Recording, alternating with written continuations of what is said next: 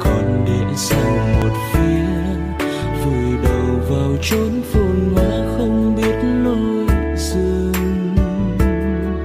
Để mắt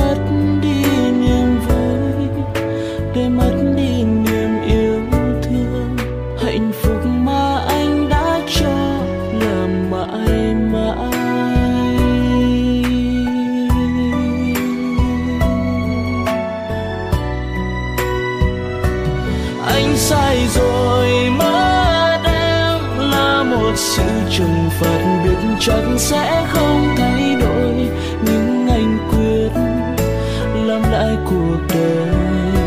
Nếu lúc này vẫn còn thương anh, hãy cho tâm hồn anh thêm sức mạnh. Nếu còn có